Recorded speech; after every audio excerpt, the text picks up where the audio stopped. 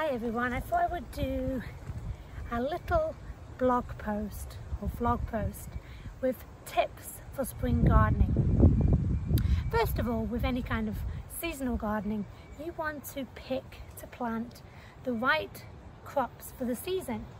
So in the spring, I'm in North Carolina, depending on what state or country you're in, most spring vegetables would be things like broccoli, carrots, bok choy, mizuna, lettuce, mesclun mix, um, Brussels sprouts, spinach, uh, arugula, cilantro or coriander to the Brits.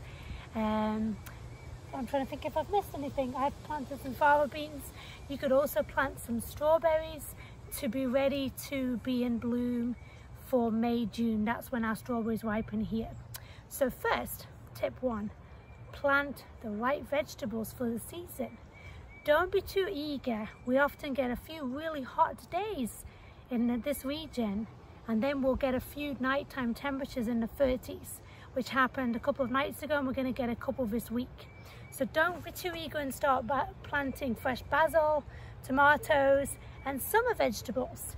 Go ahead, buy the transplants. I have a few I always buy tomatoes and peppers as transplants. They do much better. It's tricky to grow them from seed. I'm watering them, but I'm keeping them in my garage, bringing them out in the daytime to give them sunlight, but I'm just waiting till there's no risk of frost. So normally about April 15th, so we're very close now, but do check ahead for those nighttime temperatures.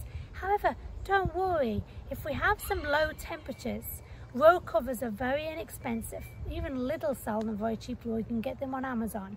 And just watch the weather, cover at night, or you could use old bed sheets, uh, tea towels, that will work just fine. So, tip two is check those nighttime temperatures. Also, you want to have good soil.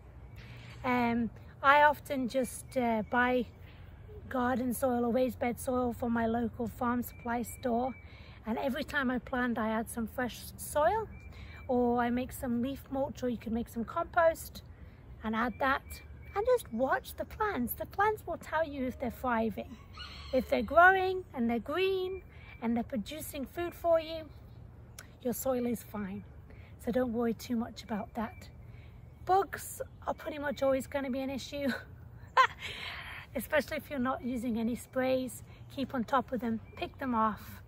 And you may tolerate a few holes here and there and it will still taste good.